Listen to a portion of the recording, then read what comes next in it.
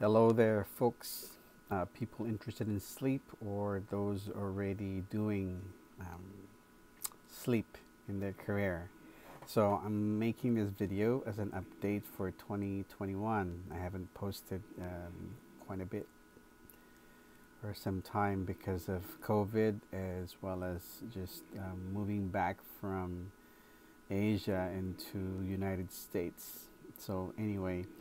I'm posting this because we just had a, sleep conference uh, last January, and there were some talks among sleep techs where they seem to have a negative um, perspective as far as the uh, industry is concerned, particularly uh, having a job as a sleep tech for the long haul. The reason being is that, um, among other industries, medical industry is being um, threatened by um, artificial intelligence, automations, um, etc. So, particularly, um, sleep studies can now be done with just home sleep testing devices. And then devices, uh, CPAPs, particularly auto CPAPs and uh, etc. and the likes, can also auto titrate patients. And so it, it really begs the question um, do we really need sleep techs in the sleep labs to be, do, to be doing sleep studies? Or will we actually lose our jobs uh, eventually because everything will be done just by using the machines? Um, so even HSTs or home sleep studies um, have pretty good automatic um, scoring because it doesn't really have mm, much uh, to uh, much parameters uh, to incorporate, such as the EEGs, EOGs, uh, etc. So home sleep tests um, mainly have three or four channels, um, particularly the respiratory channel, the snoring, the pulse oximeter, and flow right? And so their accuracy is pretty high, even since 2006 when MicroMESAM uh, study, or better known as uh, ApneaLink, uh, is now uh, it has a had a pretty high um, accuracy or specificity, specificity. Um, anyway, so as um, technology develops, then the accuracy of scoring, auto scoring, is uh, is also getting better. Um, but to that point, I do believe that there is a real threat in our jobs as sleep techs. However, it's mainly threatening the OSA types of uh, patient demographics.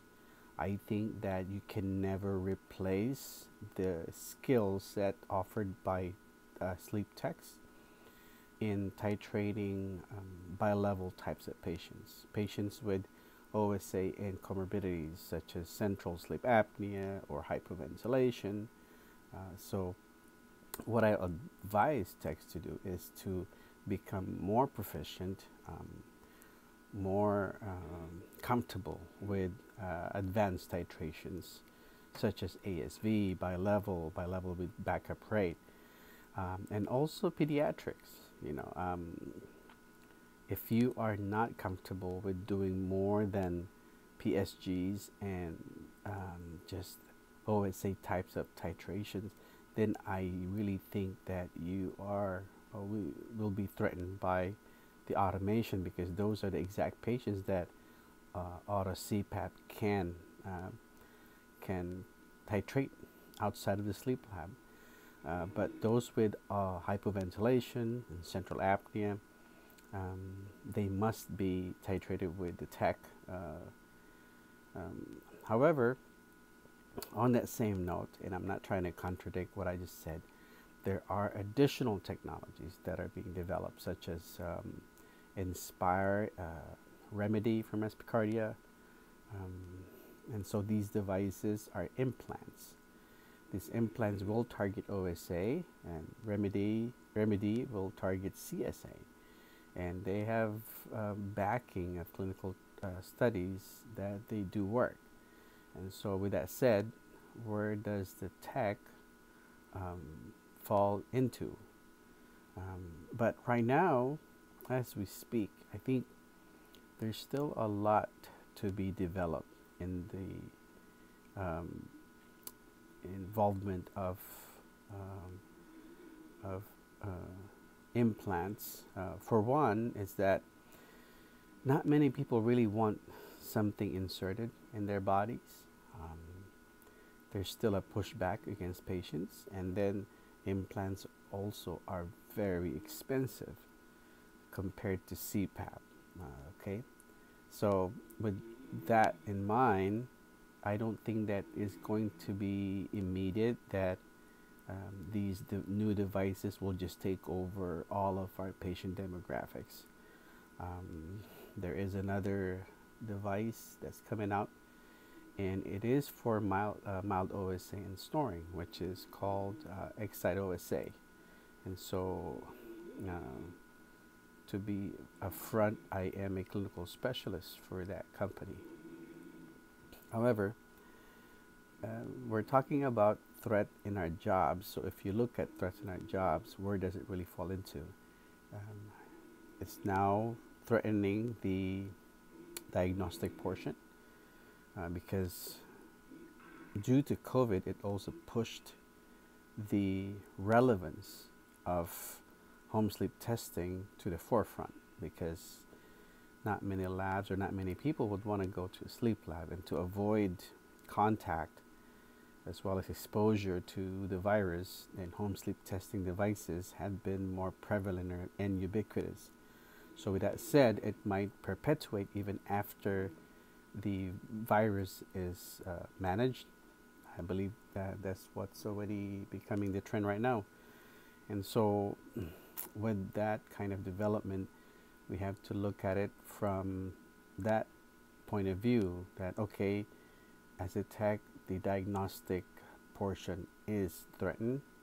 Uh, however, what else can we do? So, with that said, um, additional skills such as skills on advanced titrations are definitely going to be helpful. Uh, getting our, your RPSGTs, uh, getting your CCSH, uh, which I don't have yet because I don't see much importance for it yet so far.